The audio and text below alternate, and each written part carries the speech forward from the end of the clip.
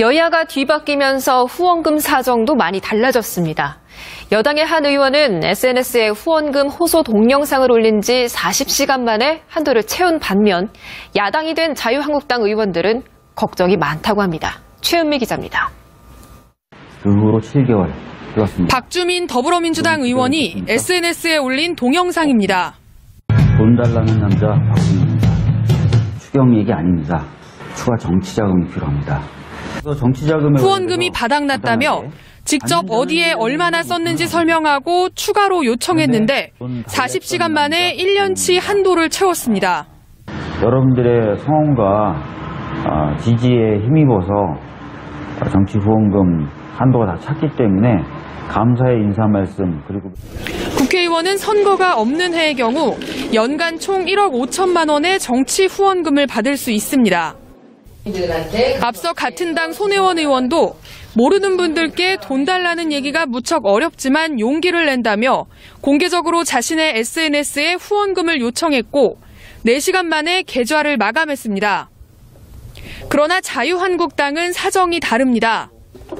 민심이 보수 진영에 등을 돌린 데다 여당 프리미엄도 사라지면서 후원금 모금에 애를 먹고 있습니다. 의정 활동을 길게 하지 못한 초선 의원이나 지역구가 없는 비례대표들은 물론 중진 의원들도 빠듯하다는 얘기가 나옵니다. 한 의원실 관계자는 매년 한도를 잘 채워왔지만 올해는 속도가 더디다며 7, 8월 정도면 어느 수준까지 모였어야 할 금액이 안 모이고 있다고 말했습니다. 이대로라면 연말까지 한도를 채우지 못하는 의원실 숫자가 적지 않을 거라는 분석도 나옵니다. MBN 뉴스 최은미입니다. 여야가 뒤바뀌면서 후원금 사정도 많이 달라졌습니다.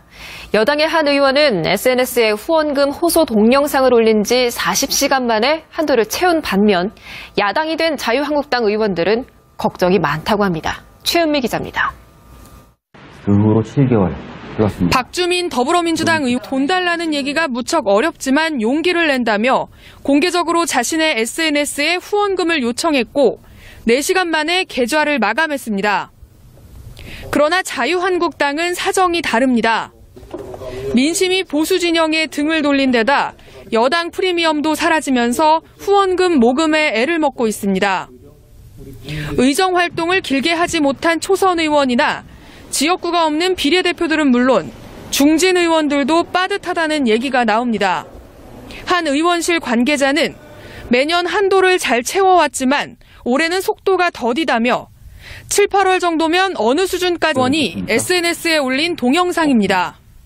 돈 달라는 남자 박수입니다. 추경 얘기 아닙니다.